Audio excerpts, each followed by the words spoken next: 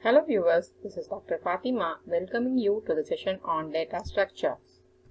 In this video, we will see about queue data structure where QADT, array implementation and linked list implementation of queue is discussed. Let us see what is queue. Queue is a linear data structure which stores data in such a way that the first element inserted is the first one to be deleted. Hence, it is also called as FIFO list. In queue, insertion can be done at one end called the rear. And similarly, deletion can be done at one end called the front. Let us see an example. This is how the queue looks like with elements 10, 20, 30, 40 and 50 with the front pointer pointing to the beginning of the queue and the rear pointer pointing to the end of the queue. The real-world example for queue are ticket counter line in theatre, railway station, bank, etc. In the queue, the first person entered is the first person to be served and he leaves the queue. Next, let us see the QADT. The structure of the queue is a collection of elements with a FIFO property. The operation that can be performed in the queue are enqueue operation, which insert an element at the rear end of the queue. The dequeue operation, which deletes and returns an element at the front end of the queue. Is empty. This function tests for emptiness of the queue. Next, let us see the implementation of queue. Queue can be implemented either as an array-based or linked list-based implementation. Let us see the in detail the array implementation of the queue. As you know, an array is a static data structure, so the collection of data must be fixed in size and the array size must be specified initially. In array implementation, the structure of the queue is defined as struct queue, int queue of max size, int front comma rear. Here, the queue is declared as an array with max size and associated with it the variable front and rear which is pointing the beginning and the end of the queue respectively. The queue can be represented in alternate way without structure also like int queue of max size, int front, comma, front and rear. But here front and the rear are just variable not associated to the queue. The programmer should carefully associate these pointer to the queue. So this alternate way can be used when we write simple programs with 1D, 1 queue. Next let us see the queue operations. Is empty. This function checks whether the queue is empty or not. As Q is declared as an array, we can store the elements in the queue starting at index 0. So, we can set the index as minus 1 to indicate the queue is empty. Hence, the function returns true when the queue is empty, else it returns false. The queue empty condition is also called as the underflow condition. The next operation which we see is is full. This function checks whether the queue is full or not. In array implementation, as we start at the index 0, the queue full condition is reached when the index reaches the max, minus, max size minus 1. As rear is pointing to the end of the queue, the rear is equal to max size minus 1 indicates the queue is full. So this function returns true if the queue is full else it returns false. The queue full condition is also called as an overflow condition. Next, we will discuss the two important operations in the queue that is enqueue and the dequeue operations. Enqueue function is used to insert the element at the rear end of the queue. The enqueue function invokes the isFull function to check whether the queue is full or not because the elements can be inserted only when the queue is not full. So, when we insert an element, uh, there are two possibilities. the queue may be empty and what we insert is the first element or the queue may contain some elements. So to insert the first element in the queue, set front is equal to rear is equal to 0 and insert the data in the queue of rear. To insert the other elements in the queue, increment the rear index and insert the data in the queue of rear. Let us see the example how the elements 10, 20, 30, 40 and 50 are inserted in the queue. And here the max size is assumed to be 5. Initially, as the queue is empty, the front index and the rear index is minus 1. To insert the first element that is 10 here, set rear is equal to front is equal to 0. And the insert 10 at the index 0. To insert 20, the rear index is incremented by 1, by which the rear gets the value 1 and 20 is inserted at the index 1. Similarly, the elements 30, 40 and 50 are inserted in the queue at index 2, 3, 4 respectively by incrementing their index each time. When all the elements are inserted, their rear will be at index 4. Here, as the max size is assumed to be 5, the rear is equal to max size minus 1 indicates the queue full and no further insertion is possible. So, thus the insertion is completed.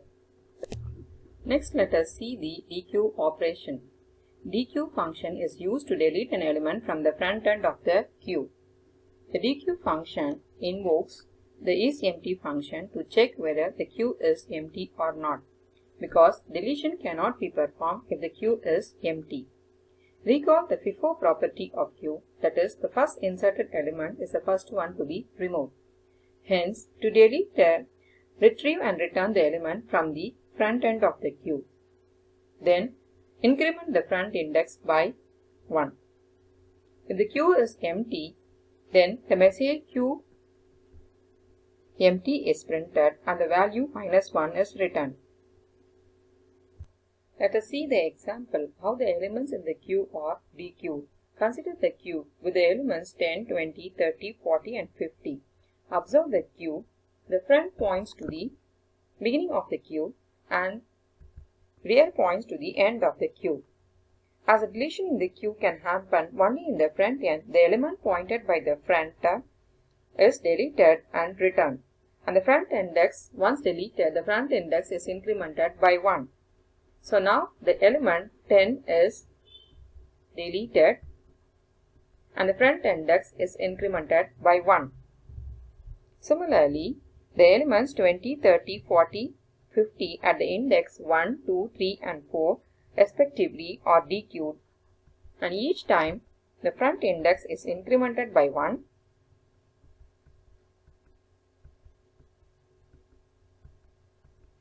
When all the elements in the queue are dequeued, the front index reaches the index greater than rear, which is used to indicate the queue is empty.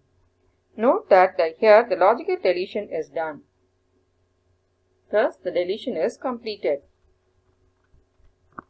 Next, let us see the linked list implementation of queue. Recall that the linked list is a dynamic data structure, so the collection of elements can be used which are variable in size and structure. The advantage of using linked list is that we need not worry about the size of the queue. The queue is a collection of nodes and the nodes in the queue are dynamically created when required. So, there won't be queue full condition in linked list implementation. Moreover, if the elements are no longer needed, then those nodes can be freed from the queue. The structure of the linked queue is defined as struct queue with the data and the next field of type struct queue. We have two pointers front and rear which is used to point the front and the rear end of the queue. So it is declared to be of type struct queue. Next let us see the enqueue operation. To insert an element in the linked queue, create a new node n and allocate memory. Set the data with the element to be inserted and the next field as null. Once the new node is created, check whether the queue is empty. If so, the element to be inserted is the first element of the queue. Hence, set front is equal to rear is equal to new node n. If q is not empty, then set the next field of the rear to point to n and set n as the new rear. Next, let us see the example how the elements 10, 20, 30 and 40 are inserted in the queue. As it is linked list, initially there is no node, hence rear and front is set as null. So to insert the element 10, create a new node n and set its data and the next field as null. Let us assume this new node is created at the location 1768. As the queue is empty, the new node with the value 10 is the first element to be inserted in the queue. Make the rear and the front pointer to point to n. The next element to be inserted is 20. As usual, create a new node n, set its data as 20 and the next field as null. Let us assume this new node is created at the location 2048. Now, make the next field of rear to point to this new node n.